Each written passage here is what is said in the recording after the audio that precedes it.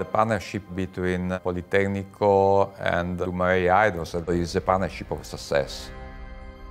With Dumarey is something that really started a long time ago when we were already General Motors.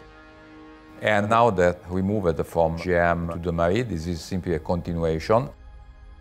The collaboration between Politecnico di Torino and Dumarey represents a blend of industry experience and academic insight.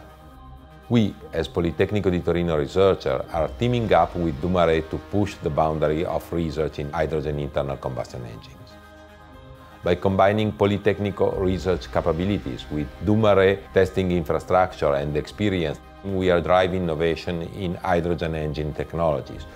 As a leading research university, we are fully committed to contribute to the exchange of knowledge and technologies for sustainable development. And we believe that hydrogen technologies will play a crucial role for the decarbonization.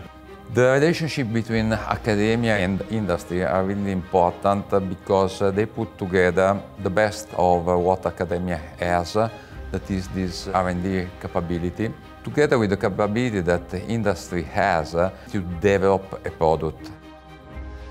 When you combine uh, the capability to develop a product together with the technology, then for sure you have a product that is successful. A hydrogen internal combustion engine is a type of engine that burns hydrogen as a fuel. In its simplest configuration, is quite similar in principle to a gasoline engine and operates by igniting a mixture of hydrogen and air by means of a spark plug. One of the key advantages of hydrogen combustion engine is that they produce only water vapor as a byproduct of hydrogen combustion, making them extremely environmental friendly in terms of exhaust emission. The hydrogen characteristics, and in particular its high flame speed, even for extremely lean mixtures, allow to operate a hydrogen engine at lambda higher than 2, simultaneously achieving high efficiency, low nitrogen oxide emission, and high performance. A hydrogen internal combustion engine has a cost that at the end is not that different compared to a diesel. There are no compromise in terms of durability, reliability, payload.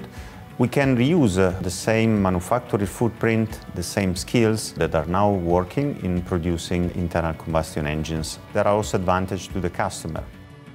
We do not have any more to accept trade-offs or compromises between performance and efficiency or between efficiency and emissions. With a hydrogen engine, we can have both and simultaneously. We developed CFD methodologies to assess the performance of hydrogen fuel internal combustion engines to investigate both injection and combustion phenomenon with the aim of selecting the best architecture among several scenarios with increasing level of conversion complexity. Starting from the simplest configuration based on the existing diesel engine, the combustion system has been optimized and also changing the approach for hydrogen injection from port fuel to direct injection. Further extension has been done to include capability to reproduce cycle-by-cycle -cycle variability and to estimate the risk of abnormal combustion events.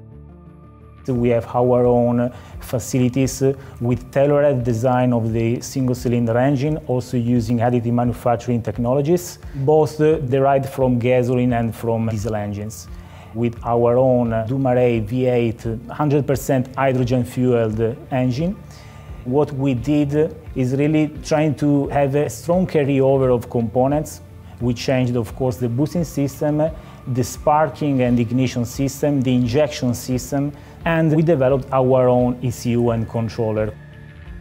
In the end, we are able, starting from diesel engines, to get good performances, absolutely excellent emissions with a port fuel, and even better with direct injection. It's very important to talk about hydrogen not only as 100% fueling, but also dual fuel solutions. We developed demo vehicles. With this demo vehicle, we reached up to 30% of reduction in CO2. By calibrating properly, we are really able to reach up to 90%. The potential of hydrogen engine can be enhanced by powertrain hybridization.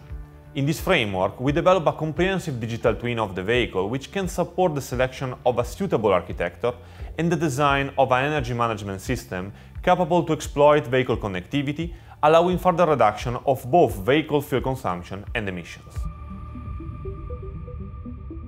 To succeed in engineering, innovation is key.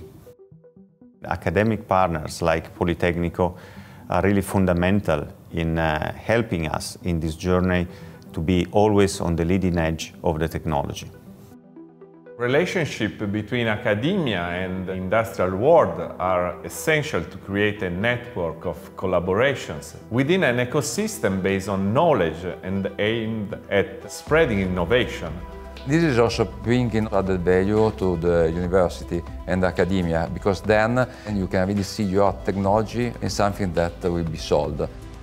This is not just pure research, but it's really industrial research.